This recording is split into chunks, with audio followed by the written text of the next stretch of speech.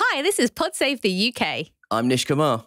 And I'm Coco Khan. By elections are on the agenda this week, with both Labour and the Tories feeling the heat. Will the Tories set a new post war record for the most seats lost by a party in a single parliament? And why has Labour got itself into a mess in Rochdale? Plus, we'll be joined by Zelda Perkins, one of the women who helped take down Harvey Weinstein. She'll tell us about her campaign to stop the use of NDAs to silence victims.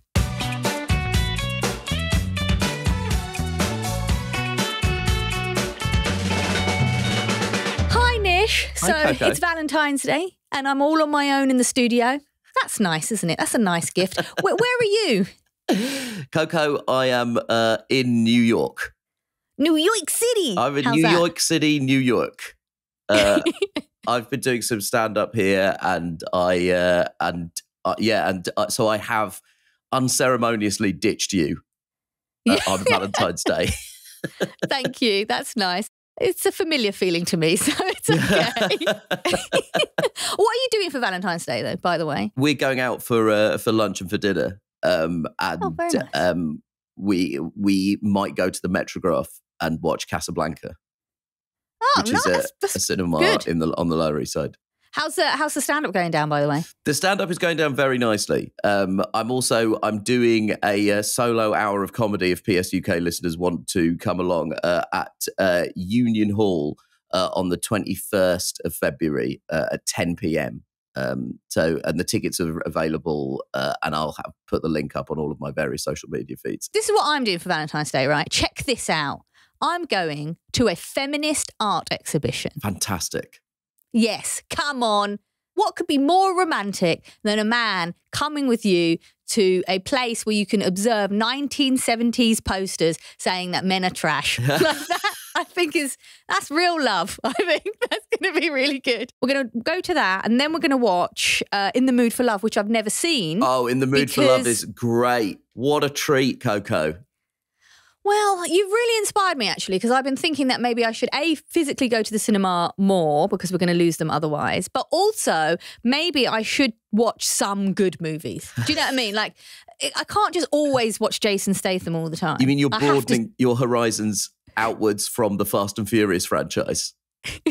mate? Honestly, I have watched that trailer for The Beekeeper a good five times. I just love it. It's so awful. It doesn't make sense. It doesn't make sense at all. Um, so that's what my I love plan. about this and then is I, they're slowly running out of jobs for Jason Statham to do in action films, and we've reached apiarist.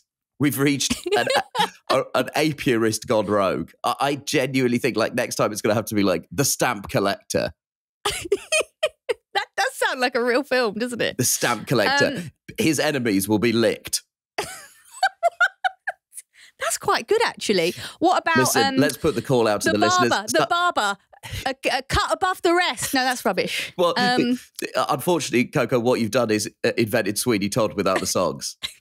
okay, all right. What about the groomer? Oh, that sounds wrong. I'm not no, gonna. I no. was gonna say the No. groomer, so you could say it's a No. close shave, but actually, there's too No. many offensive connotations for that. a film one. called The Groomer is about a paedophile.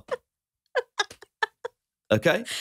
Okay, I yeah. was about to uh, say uh, if listeners want to make posters for these movies, that'd be great. But now you've said the groomer, I don't. I don't want listeners to make a po- fake movie poster for the Jason Statham film, The Groomer. okay, okay. What about this? The comedian. He'll get the last laugh. I- Again, I think you've invented the film Joker. Okay. So I, basically, what I've learned from this is that all the films are done. They've all been done. what about this? Uh, this guy's a violinist who uh, only plays for children, and it's called The Kiddie Fiddler. Fucking hell, Nish. That's yeah, that was great. Thank you. Happy Valentine's Day, everybody. so grim. This was supposed to be a bad week uh, for the Conservative Party and for Rishi Sunak, and a gift for the Labour Party. The double whammy of bad economic news and two potential by election defeats was expected to leave a wounded prime minister at the mercy of Tory plotters. And it may still play out that way. Although inflation defied predictions by staying unchanged, by the time you hear this, the latest GDP figures could mean that we're officially in recession. And the Tories themselves are predicting that despite having big majorities, both this week's by elections in Wellingborough and Kingswood could be lost. But it's not Sunak, but Keir Starmer who's been feeling the heat so far this week, having to suspend two parliamentary candidates for comments they've made about Israel. Yes, so Westminster News this week has mostly been dominated by the fallout from comments made by Azhar Ali. That's Labour's candidate for the Rochdale by election, which takes place in two weeks. The Mail on Sunday reported that Mr. Ali had claimed in a local party meeting last autumn that Israel had allowed the 7th of October attacks by Hamas as a pretext to invade Gaza. He issued an immediate apology, and the Labour leadership seemed to be standing by him, with frontbenchers dispatched to defend him. By Monday night, though, the tide had turned following reporting of more of his comments in the Daily Mail, and Labour eventually withdrew its support for Azhar Ali. He's been suspended from the party pending an investigation, but he will still be listed as the Labour candidate on the ballot paper in Rochdale because under electoral law, it's too late to replace him. Keir Starmer has said he's taken a tough but necessary decision. Information came to light over the weekend in relation to the candidate. There was a fulsome apology Further information came to light yesterday calling for decisive action. So I took decisive action. It is a huge thing to withdraw support for a Labour candidate during the course of a by election. It's a tough decision, a necessary decision. But when I say the Labour Party has changed under my leadership, I mean it. However, any sense that damage limitation might have been successful lasted less than 24 hours. On Tuesday night, it emerged that more recordings from the same meeting, which was with a group of Labour councillors threatening to quit the party over its stance on Gaza, show Graham Jones, the Labour candidate for Hyndburn, using the words fucking Israel and saying British people who fight in the Israel Defence Forces should be locked up. Mr. Jones was immediately suspended by the party and is now facing an investigation. The Jewish Labour movement say it's not been Labour's finest hour in what should have been a bad week for the Tories, Labour have somehow managed to steal defeat from the jaws of victory, Coco. Oh, I know. I wouldn't be surprised if the Tories call an election now. This is like as good as it's going to get for them. Do you know yeah, what I mean? It like it's like been that. a disaster for Labour. So, one of the things that I found quite interesting in terms of this story is, you know, there's been this ongoing conversation about factionalism within the Labour Party. And people have pointed out that, you know, other MPs who did less were punished quicker. And Azhar Ali is closer to the leadership. He's closer in terms of his uh, political opinions. Um, he's also been a, a, strong ally in the fight against anti Semitism in the Labour Party. So, why did it take Starmer so long? I think that is a question that does need to be answered at some point. Perhaps it won't make a difference to the by elections, but I think for Labour voters, it might be a question that they want to understand. They want clarity over the policy and they want to make sure that the party is running fairly. Yeah, um, Martin Forde, uh, the KC who was commissioned by Keir Starmer to investigate allegations of bullying, racism, and sexism, has been very damning this week about the Labour Party's handling of the Azhar Ali case, and he he went as far as calling it shambolic. And he also said uh, this on Radio 4's Today program one does have to question how such individuals are selected in the first place and also the disparity in treatment. Because one of the things that concerned us when we talked about weaponization was certainly the perception that anti Semitism was along factional lines. If the Labour Party is serious about stamping out anti Semitism, it can't be a case that it's only being tough on people it disagrees with in other areas of politics. You know, the principle is the principle. It can't be used to punish separate factions of the Labour Party. I also think the other serious issue here is Keir Starmer is kind of staking his claim purely on competence. You know, we've seen rowing back on all sorts of pledges, um, the green investment, the 28 billion pound figure, that's been sort of essentially withdrawn by the party. And when all you're offering is competence, you cannot afford slip ups like this. Starmer's working on a bomb proof manifesto. There is a sense that he is playing it safe politically and he is following the idea that you never interrupt your enemy while they're in the process of making a mistake. But if you're offering people nothing other than competence, you have to be very fucking competent. I think that's the least people can ask for, right? For me, that my heart just goes out to the people of Rochdale right now on their ballot. They've got Azhar Ali, suspended by the Labour Party, George Galloway, Workers' Party of Britain, also a former Labour MP who was expelled from the party, Simon Danczuk for Reform, who was Rochdale's Labour MP between 2010 and 2017, but was then suspended and resigned after being found to have sent explicit messages to a 17 year old girl. Oh my God. I mean, what are these options? And to make matters more farcical, uh, last week the Green Party candidate, Guy Otten, withdrew from the Rochdale race after the resurfacing of what he described as his regrettable social media remarks about the Islamic faith and about Gaza. And yet he too will still be on the voting slip.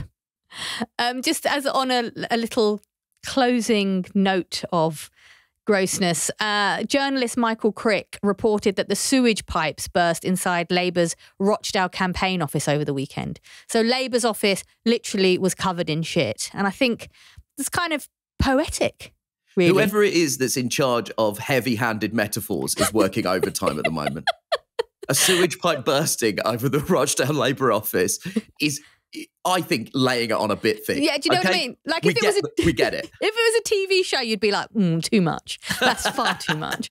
So that Rochdale by-election is happening on February 29th, but by the time this podcast is out, voters will be going to the polls to choose new MPs in two other by-elections in Wellingborough in Northamptonshire and in Kingswood in South Gloucestershire. What's happening in Rochdale is a lot, and while Wellingborough isn't quite that. It's really not far behind. The area's former Tory MP, Peter Bone, was kicked out after being found to have indecently exposed himself to an aide. The candidate the Tories have chosen to defend his majority of over 18,000 is a local councillor called Helen Harrison, and she just happens to be Peter Bone's partner. She's claimed that the Common Standards panel, which, despite his denials, found Bone guilty of the allegations, that well, they'd got it wrong. That's her claim. I think I think we um, had them in for our villain of the week a little while ago, didn't we? Yeah, we did indeed. Yeah.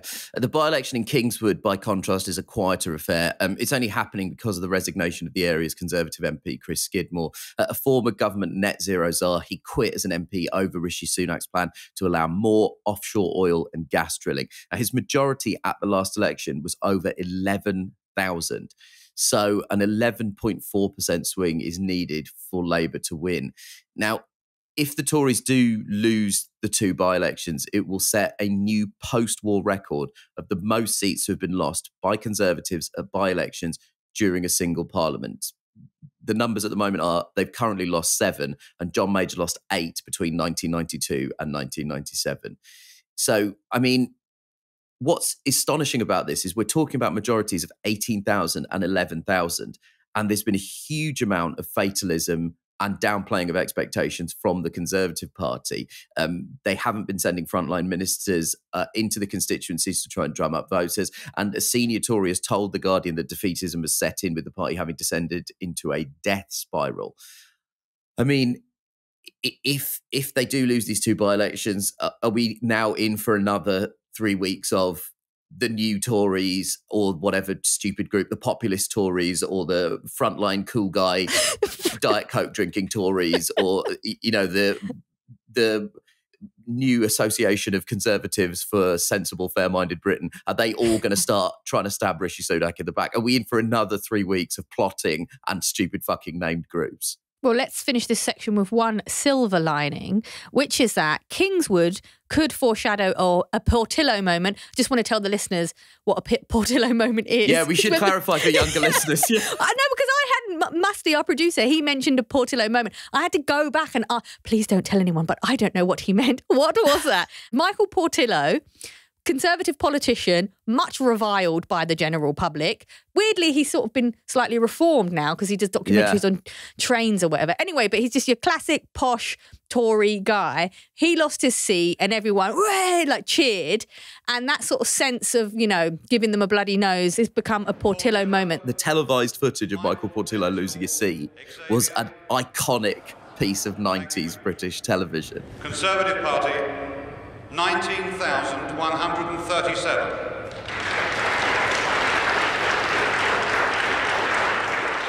Twigg, Stephen, Labour Party, 20,507.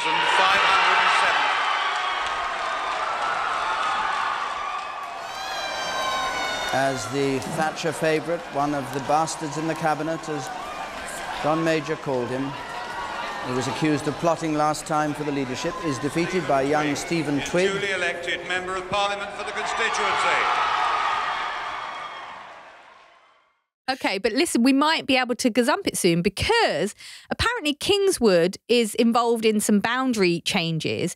And so that will mean part of Kingswood will be merged into Jacob Rees Mogg's constituency. Now imagine that Kingswood goes Labour, goes red, and then a load of those Labour voters move into Jacob Rees Mogg's seat, into his area. I mean, it could happen. We could see him lose his seat. I mean, that's If- a moment, isn't it? I mean, if Rees Mogg loses his seat, I, I mean, I, that would be that would be cause for a national holiday.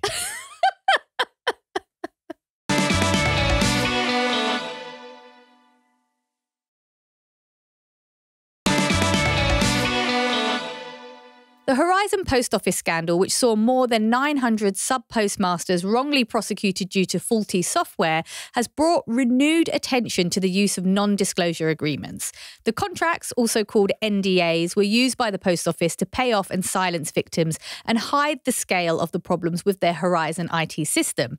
Last week, Post Office Minister Kevin Hollinrake said sub postmasters who had signed an NDA should feel completely at liberty to discuss their situation with the authorities. Our guest this week is someone who has been campaigning to stop NDAs from being used to hide harm or wrongdoing. Zelda Perkins worked as film producer Harvey Weinstein's assistant at Miramax in the 1990s. Zelda's decision to break her NDA in 2017 was instrumental in bringing down Weinstein, who in 2020 was sentenced to 23 years in prison for rape and sexual assault. It's a pivotal moment in the Me Too movement, uh, but the case also highlighted how NDAs are being used to silence victims. Zelda Perkins, welcome to the show. Hello. Hello. Hi. So, listen, so you're the co founder of the campaign group Can't Buy My Silence. What are the aims? Really simple. We mm-hmm. have two aims change legislation and change legal regulation and mm-hmm. guidance around the use of NDAs. Obviously, along with that, we're trying to raise public awareness because they're secret mm. settlements and people aren't aware. You know, you will have definitely signed some. Probably all of your production team will have signed one without even realizing. Um, and the NDAs that cause harm are now really coming to light, and that's been, you know, a bit of a slog because it's not a very sexy subject. Because um, I've been very much talking about law and changing law rather than necessarily talking about the individuals that that use these um, agreements, like Weinstein or Epstein or um, Crispin Odey, etc cetera, et cetera. So, as we mentioned in our introduction, NDAs have been back in the news. Let's hear exactly what the Post Office Minister Kevin Hollinrake said in the Commons last week. the post office has said, and it's our position that no NDA should prevent somebody speaking to relevant individuals, including the members of parliament, of course. Um, and it is the case, whatever whatever part of our system and wherever an NDA is signed, it is very clear that none of them can ever prevent somebody from speaking out about a crime, going to the police, for example, or other authorities. An NDA cannot prevent somebody from doing that in any circumstance. It was weird hearing him say, oh, an NDA can't stop someone reporting a crime because you think, of, well, of course not. Yeah, that was a really juicy clip because that's actually a real that's the real nub of the problem. Mm-hmm. Because you know, yes, an NDA shouldn't be able to stop somebody from reporting a crime. Not everybody knows exactly what the parameters are around the crime, and they can't find out if they've signed an NDA. Um, the other thing is, is very key. He didn't say that people can break their NDAs there. He said you can talk to the relevant people, so you can make a protected disclosure to your MP or to the police, but he didn't say you could break your NDA. Um, Well, that's I mean, pretty key. is- That's such a key distinction, right? Yeah. massively key distinction in the same way as Dominic Raab has several NDAs, which which is in the public domain, and he was actually asked about this on the floor in the in the House of Commons, and he said, "No, no, no, no, I don't have any NDAs. I just have a standard confidentiality agreement. They are the same thing." Right. Right. Okay. All that an NDA is, is any form of agreement that has confidentiality provisions in it that stop you from discussing something that has happened to you. Mm-hmm. NDAs don't necessarily have non-disclosure agreement written on top of them. Mine wasn't didn't have NDA written on it. Mine was a was a damages agreement. Was okay. a you know was a settlement agreement. Now the majority of settlements that you see that have are hidden by by NDAs are not like mine. Mm. Mine was huge, and the reason mine was huge was because in my naivety at 25, which is when this happened, you know I had no idea. I'd never yeah, even spoken to a lawyer in my life before, and I thought if there is a huge amount of money on this agreement, it is showing it's indicative of the crime. Why would, you know, Miramax or Harvey Weinstein pay these two girls £125,000? And we're talking about back in the 90s each for something that didn't happen. Mm. You thought at the time it was almost an admission of guilt. Totally. Totally. And also to me, it was indicative of the crime. It was really important because our lawyers said to us, okay, you can't go to court. I mean, you can go to court, but you're not going to win. Your lives will be ruined if you go to court. And this is the reality. This is what happened to the post office workers. This is what happens when you sign an ACAS, you know, settlement, and your your advisor will say, just sign it, just take the money because otherwise, you know, you're going to not get as much money the courts won't, you know, it's too expensive to go through court. It's too traumatic. You know, it is that that they think they're helping. It's not that lawyers are bad. They mm. think they're helping. They think they're offering a panacea. They think it is the solution. Part of the reason they think it's a solution is because they don't see what happens after someone has signed an NDA.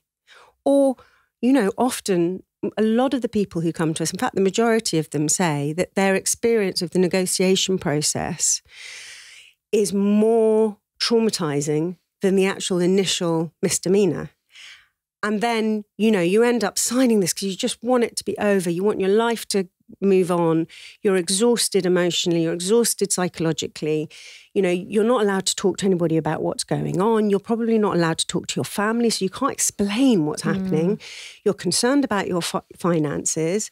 You know, it's all point all the guns are pointing at you to sign all the pressure is on you.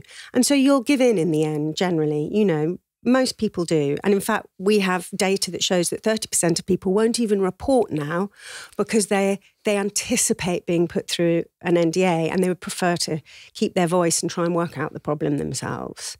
So, but, so just, just, so that we clarify your uh, mm. specific mm. background here, you, you, were working for Harvey Weinstein, you experienced mm. sexual harassment but it was when a colleague told you that Weinstein had tried to rape her that you decided to take the allegations to uh, the studio to Miramax, and then both signed NDAs in exchange for financial damages. And what you're talking about here is the pressure, as you say, you were 25, you know, and I think was it your first job out of university? Yeah, it was my it was my first job that I kind of got by mistake. And, you know, we didn't even have the word sexual harassment. Yeah. That was just normal workplace behavior. Yeah. We all know, well, particularly us as women, that in the workplace there is always somebody when you start a job, someone will say, "Oh, don't go in the photocopy room with Kev." You know, handsy you know, Kev. Handsy Kev. And and that was what it was like at Miramax in terms of of Harvey's harassment behavior. Mm-hmm. What we were scared of was his anger. Right. Um, with our NDA, I mean, we went. I went. I went directly to Weinstein when this happened to confront him, and you know took took my colleague out of the equation. But when I actually went, and he denied it, but when I actually went to my senior to report what had happened, it was not escalated. She just said, "Get yourself a good lawyer." Oh God. And so I presume that meant that we were going to get justice. We were going to go to court. It was going to be hell, but we were going to get justice. What I didn't understand, and what I was told immediately that I spoke to lawyers, and this is again what happens to the majority of people who go forward with a complaint or a grievance, they get told that there isn't really, there's no point. Mm. You know, that they have no power. There's no point in going up against the big guys. Now, we're meant to be equal in the eyes of the law. And there obviously isn't equality when you're an employee and an employer. Just briefly, what was that pressure like? What sort of impact did that have on you personally? Uh, it was catastrophic. I was 25. It was my first job. I was like, oh, I'll just get another job. I hadn't really thought about it. I'm doing the right thing. You know, in the movies, when you do the right thing, everything goes your way. That's not what happened. I mean, the negotiation process itself was pretty horrifying because we were made to feel like we were the criminals for highlighting a potential rapist. we only were allowed to the law offices after sort of business hours, which was also quite weird and intimidating in the city. You know, we were two young girls. We had a young female pregnant um, solicitor. Mm-hmm. We were kept in a room with no windows. We weren't allowed pen and paper. We were escorted to the loo. We weren't offered refreshment. There was one occasion where we actually did an afternoon session where we were there from 12 until 4. Then we were given an hour's break where we went out and got a sandwich. And then mm-hmm. we came back in at 5 in the afternoon and we were there till 5 in the morning. you know, I mean, it was, it's sort of legal waterboarding. I mm. mean, it was, it was terrifying. Um, and this is not unusual. You're put under a huge amount of time pressure. You're told the deal will be off unless you agree now. So you don't have much choice. You know, once we once we came to a to a, an agreement, and I'd like to point out that our NDA had more um, clauses in to try and stop Weinstein than we actually had ourselves. Right. You know, I, we thought we had we had done pretty well in terms of trying to stop his behaviour, because that's all we were trying to do. And that's what most people who come forward with a grievance or whistleblow are doing. They're trying to actually improve mm. and look after that workplace. You know, and it's a human right to work in a safe environment. So why whistleblowers or people who speak up are treated like criminals is, you know, is a major part of the problem.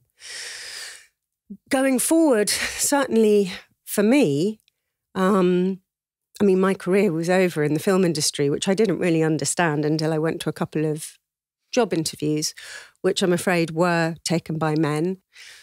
Now, I just spent a month of my life fighting, you know, a really powerful, frightening mm. man to try and try and stop a sexual predator. And then I had to sit there with a man asking me really about my potential sexual relationship with Harvey and whether that was going to be a good thing if they employed me or a bad thing. And I knew at that point that I wasn't going to be able to to go to mm. interviews because I would just I would blow. Yeah. Um, and um, I actually moved. I, a friend a friend offered me a job working with horses in South America, and I moved to Guatemala and I stayed there for five years.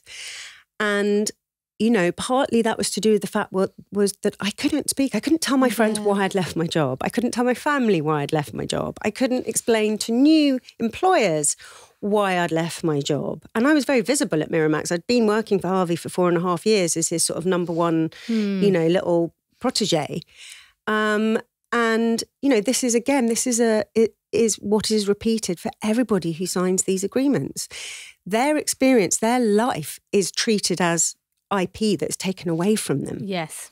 You know, they can't speak about their trauma. Mm. The impression that we left that lawyer's office was very clear that if we spoke to the police or we spoke to a therapist or we spoke to the HMRC or we spoke to anybody ever, and we weren't allowed to speak to each other again, then we would be sued and end up probably going to prison because we wouldn't have had the money to pay back so then nearly 20 years you sort of kept the NDA living with that on a day-to-day basis but then in 2017 you were actually the first person to break the NDA with Weinstein why did you decide to do it then um, well, I had broken it endlessly, actually. I mean, as you've probably already discovered, I'm not very good at not talking.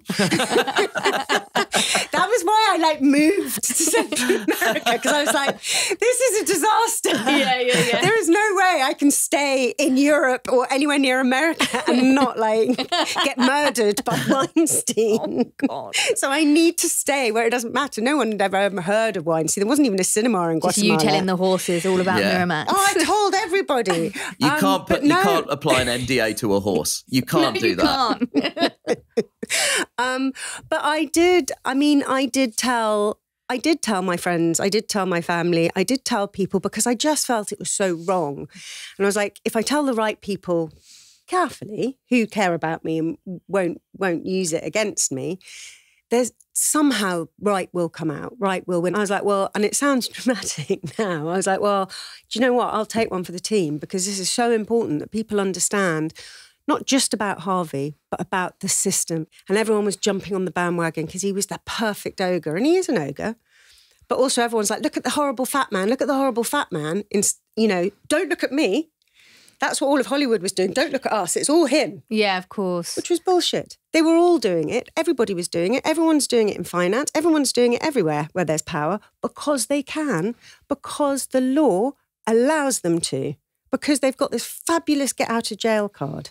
Hmm. Right? You can't have that. You cannot have the law enabling harm. It is weird with the, I mean, this is maybe not quite related, but a couple of years ago, I did a story about the gender pay gap. So obviously, we've had reporting on gender pay gap now for five, six years. It's not made a blind bit of difference. Now we all know how bad it is, but no one's been incentivized to change it.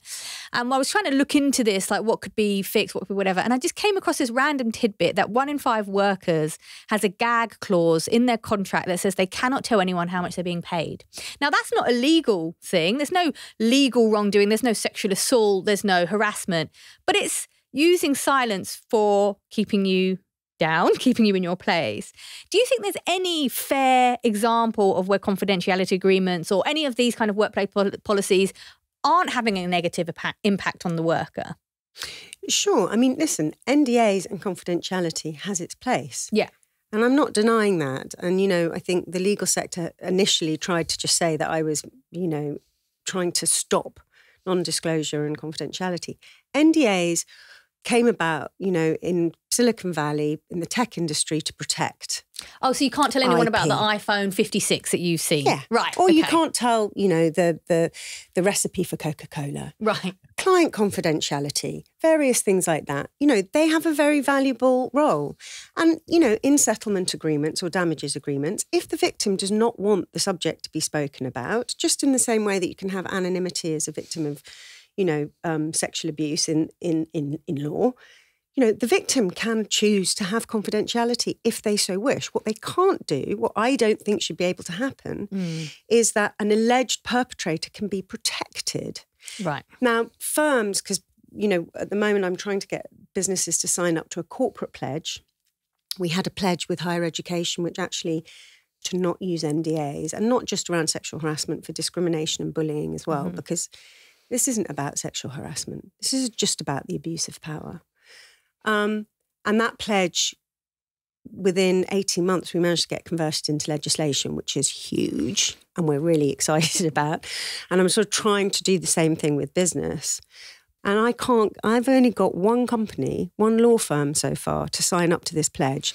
And I've approached all the top broadcasters, you know, Amazon, Google. I mean, I'm in talks with a lot of them and, and it's going, but it's amazing how difficult any of them are finding it to sign a voluntary, unenforceable pledge to say that they are not going to abuse their employees by using confidentiality to hide harm. I, I just want to pick up on something you said there because we often talk we talk to lots of people engaged in campaigning on this podcast but i think it's really important to highlight that you could like actually you've managed to convert it into some legislation so can you just talk us through that process of taking it from a campaign into actually getting it made into law and how has it been getting the politicians engaged with this Well, I had no knowledge. I, I'm woefully politically ignorant when um, I started this. And, you know, I broke my NDA and everyone was like, oh, dear, it's terrible. Yes, gosh, well done. Aren't you brilliant? And I was like, okay, great. So what are you going to do about it? Well, Theresa May, to give her her due, said, I'm going to sort this out. Then weirdly, this kind of buffoon with floppy hair got in and like the whole country went to shit. And obviously, you know, this was an issue that he really wasn't wasn't Yeah. keen to, to to back up.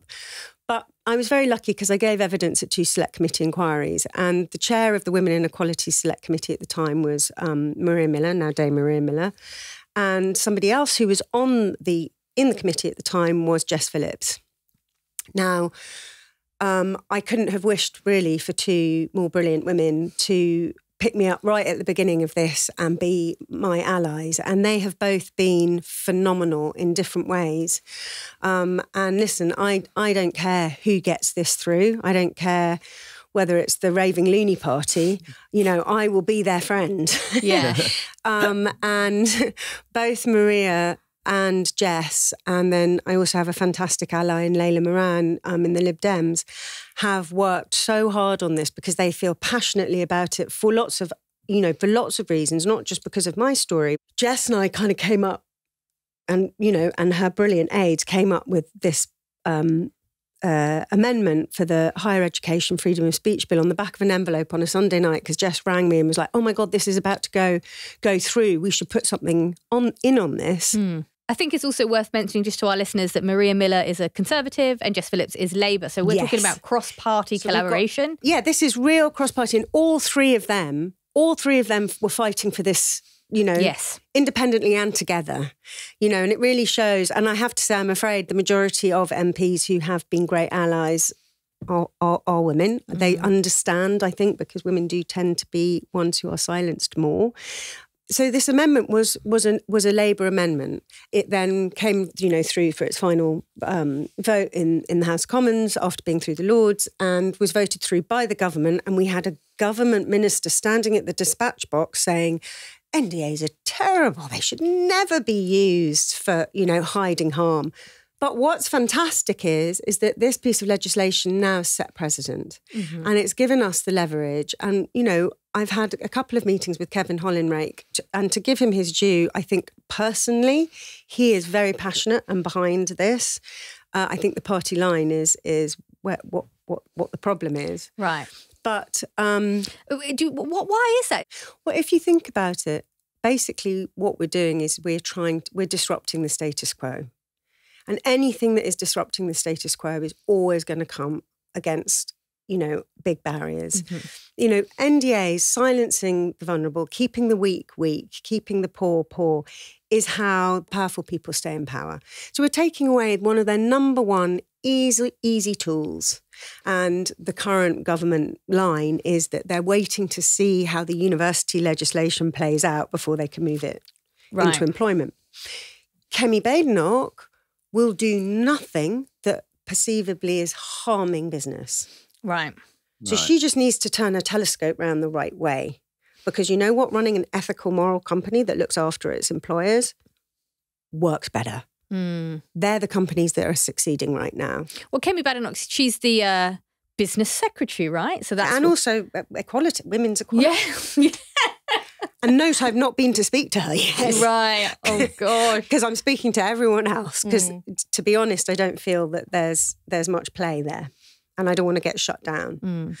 Um, however, you know, in in terms of Labour, I feel like we've got a lot of movement there.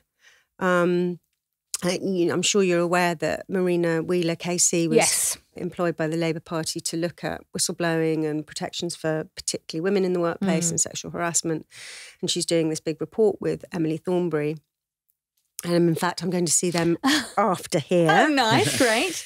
for the second time, which I'm very excited about because I think, I think, you know, they're both lawyers and I think they understand, they understand the harms here and they also understand the fix. Mm. Um, I don't want to jinx things, but I'm just going to say they're definitely going to make this into the into a piece of legislation for the Labour manifesto because it's free. You know, there's no money Yeah. Mm. if and when Labour get in. There's no money for them to do anything with. So anything that's free, Yeah.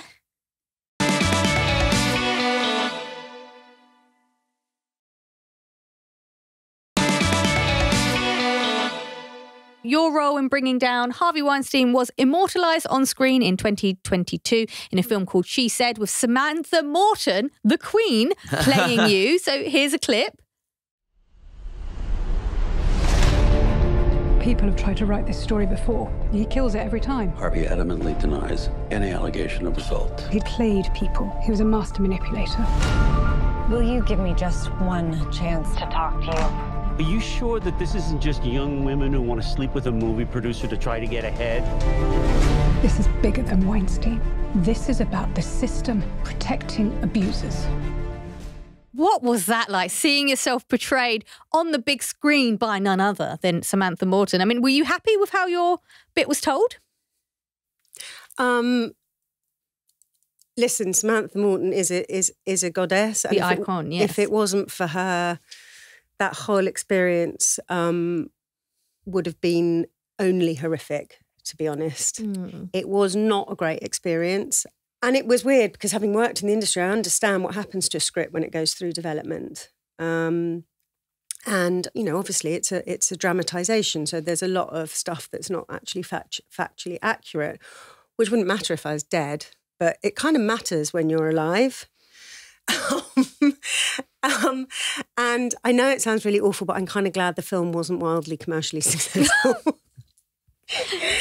Ju- just just because it's it is a weird thing. You think like the idea is really exciting that someone's going to portray you in the film. The reality is actually it's not it's not it's not great. Um also for me i know That's not the ending you want because because this story started in the in Hollywood. So you Yeah. sort of the ending you want is that, and now Hollywood is different, and then actually no, it's the same. They're taking a story, not letting you speak up. All right. it, it's weird and i have to say it was really hard because also i only went to one of the openings one of the premieres because i didn't want to go to the premieres because you know we had to do we had to do the oh dress up in a dress and walk down the red carpet and i'm like do you not get it? The whole reason that all of these women were in the situation they were in because they all fell for that shit. Mm. Because they all want to put on their you know their holly, their dress and walk down the red carpet because they get dressed up like show ponies and do that. You know i went in a suit with my can't buy my silence t-shirt on and i'm like no i'm not gonna i don't i'm not playing that game because this is where it all started. And do you not see the irony? Well, good for you for doing that. Good for you. well you know i, I sound like a, a, a right old you know grinch but but it's it's it's a weird it's a weird thing it's a weird thing one of the things that will presumably chill the listeners of this podcast, as it did me hearing you say it, is that you think that a lot of people will have signed an NDA without realizing it. Is there something that people can do if they find themselves in a situation where they're being constrained by an NDA Hmm. from reporting on abuse? Absolutely. I mean, my first thing I would suggest that people go to our website, which is can'tbuymysilence.com. We have a huge amount of resources there to tell you what to, giving you some advice. It's not legal advice, but it is practical and real advice and what you can do if you're being asked to sign an NDA, what you can do if you have signed an NDA. There are also great companies out there to help, like Protect, whistleblowing, who give you whistleblowing legal advice, and Whistleblowers um, UK. Um, but something that I think is important for people to understand, and I'm not telling people to break their NDAs, although secretly I am. um, Pod Save the UK is not responsible for any legal action. Thank you. Yeah. Big disclaimer. Um, is that 90%, if not more, of NDAs are not worth the paper they are written on. They are not legally enforceable. They are there to scare the living daylights out of you and keep you quiet.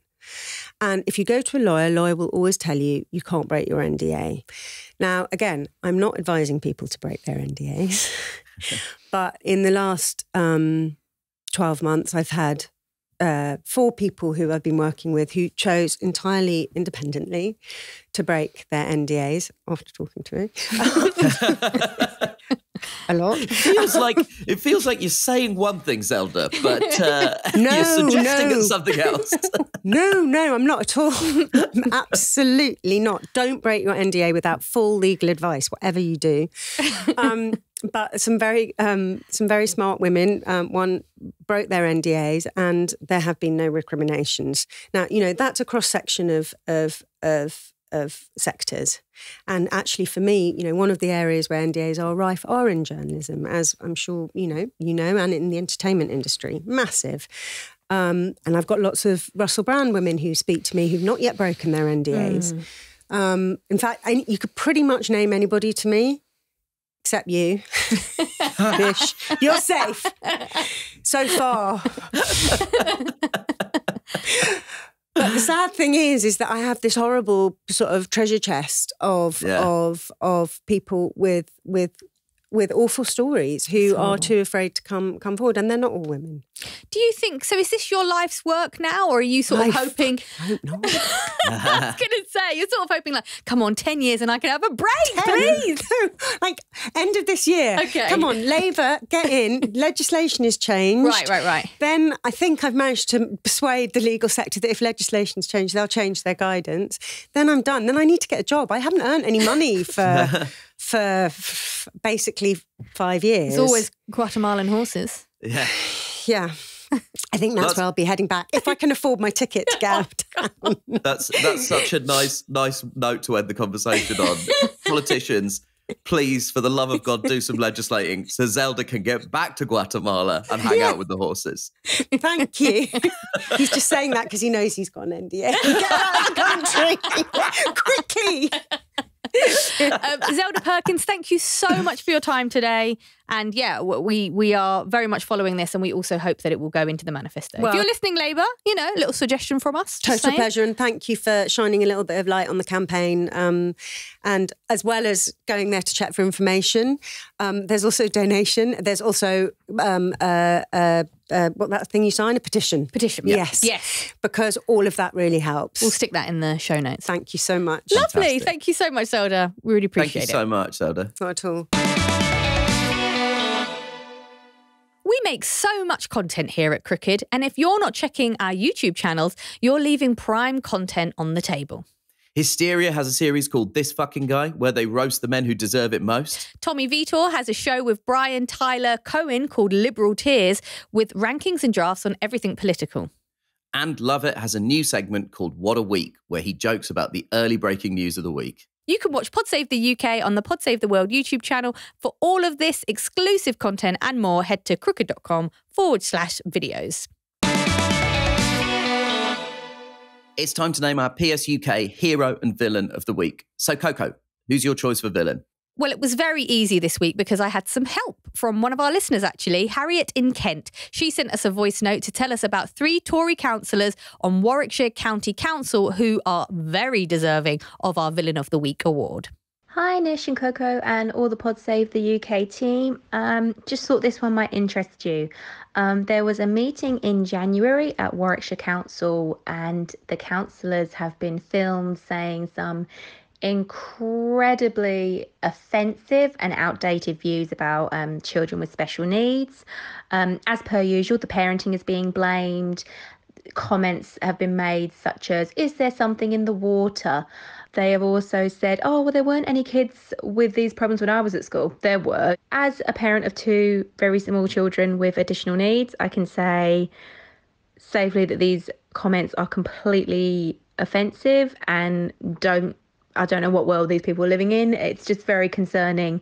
These people are in charge of funding and policies that affect our children when they've clearly either never met anyone with additional needs or taken the time to actually learn anything. So, if that sounded bad enough, let's actually hear it. So, this is Councillor Jeff Morgan speaking at this meeting of the Council's Children and Young People Scrutiny Committee, where some of the councillors seem to be struggling to understand the rising demand for the Council's special educational needs and disabilities services. Surely it can't always be the case that just because demand is increasing, there is a genuine need.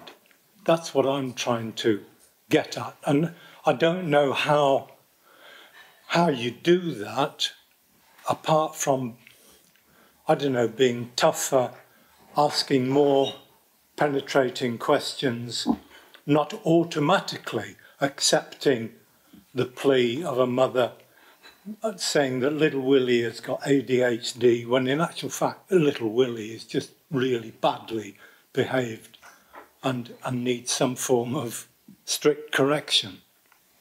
You see where I'm going? I don't want to be too Daily Mail on this, but but I do. But I am, yeah.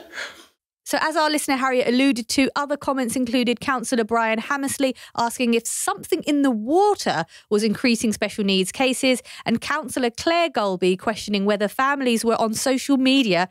And this is an actual quote swapping tips on how to get their children diagnosed. Three councillors have apologised and are being taken off the Children and Young People Scrutiny Committee. And according to the council leader, are being put on a programme of training, development, and education but my god it's it's it's horrible to hear it in the the cold light of day like we know that there's uh, stigmatizing opinions about children with additional needs and that there's a long legacy of blaming the mothers always the mothers never the fathers um, but to actually hear it in 2024 it took my breath away also the just the the assertion of, well, it wasn't like this when I was at school. I didn't know oh any people God. like that. That is I'm like, one of my least favourite things.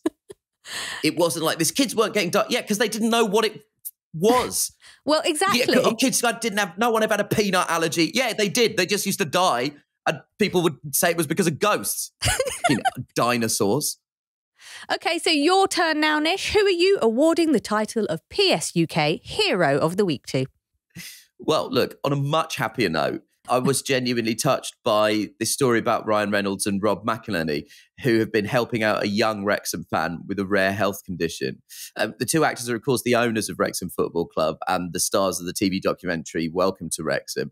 Wrexham fan Louis Perrin was born with a rare genetic condition. Uh, now, this condition causes him to have painful leg spasms, limited mobility, epilepsy, and cerebral palsy. And his parents, Aaron and Charla, are fundraising £40,000 to adapt their home in Wrexham. And they were shocked uh, to see a £10,000 donation appear on their fundraising page last Friday with the simple message Up the town, young man, Ryan and Rob. From Wrexham's celebrity owners, uh, the family that they uh, saying that they hope to raise enough money to fix a downstairs bedroom with an additional wet room attached and raise the level in the garden to make it easier for Louis to move from the home to the garden in his wheelchair. By sharing their story and with the involvement of the Hollywood duo, Charlotte and Aaron hope to show their experience is not a unique case. There's so many families with either half finished builds or they've not started building at all and they're selling up or having to work, give up work to care for their disabled children as they cannot access funding. Uh, that's a quote from uh, Aaron, who's Louis' dad. So for my hero of the week, I'm giving a big, old, heartwarming love in and going for Rob and Ryan and Louis' parents, Aaron and Charlotte. Oh, this this this this anecdote's also made me really want to watch Welcome to Wrexham because I, I don't watch it, but funny enough, my it's very good. my husband watches it, and it's always really funny when I walk into the living room while he's watching it, and there'll be a moment he's like, "I'm not crying, I'm not crying." Like, oh, I see. This is like man's rom com. You know, when I stay home and cry and eat my chocolates because I'm watching Yeah. Jennifer Lopez not find her true love. The, oh, that's what Welcome to Wrexham is for dudes. I get it now. I get it. Um, there was a lot of love for last week's guest, Scottish First Minister Humza Yousaf. Aranal Alas on YouTube said, Am I dreaming or did a, I just listen to a politician actually answer questions for 45 minutes? And look, if you missed it, um, you can listen back to last week's episode, an interview with Humza Yousaf, by finding it on our feed. It's well worth your time. You can get in touch with us by emailing psuk at reducelistening.co.uk. It's always nice to hear your voices, so do send us a voice note on WhatsApp. Our number is 07514 644 572. Internationally, that's plus 44 7514 644 572. Don't forget to follow at Podsave the UK on Instagram and Twitter. You can also find us on YouTube for access to full episodes and other exclusive content. And if you like, you can drop us a review too. Be nice though, we're extremely sensitive. And also, I'm in New York, so don't spoil my business trip. Uh, Pod Save the UK is a reduced listening production for Crooked Media. Thanks to senior producer Musty Aziz and digital producer Alex Bishop. Video editing was by Will Darkin, and the music is by Vasilis Fotopoulos. Thanks to our engineer David Dargahi. The executive producers are Anishka Sharma, Dan Jackson, and Madeline Herringer, with additional support from Ari Schwartz.